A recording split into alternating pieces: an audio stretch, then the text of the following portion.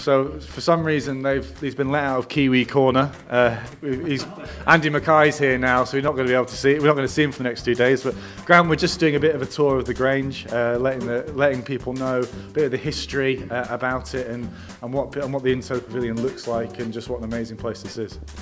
Well, who better to give everyone a tour of the Grange than a man from Carlton? we haven't mentioned that. but no, yeah, absolutely stunning. I'm I'm just about to head up top just to have a look, actually, just to take it all in because um, just you know walked out to the middle and man, it's uh, what a cool feeling. And can't wait till Sunday. Eh? It's going to be uh, it's going to be awesome seeing this ground packed. So uh, yeah, fizzing. Can't wait to get into it.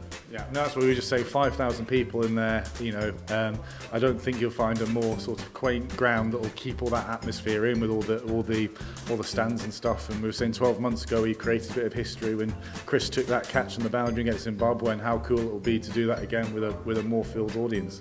Oh yeah, brilliant. Uh, just can't wait. I think you know it's going to be it's going to be loud on Sunday. It's going to be um, yeah there'll be lots of hostile uh, opposition, I guess, yeah for us, and, and lots of um, you know Scottish support. So um, hopefully we can drown them out with uh, some bagpipes, and uh, yeah it'll be be just a, a magic occasion. And uh, you know from a from a team perspective, you know as you know we can't wait to get into it.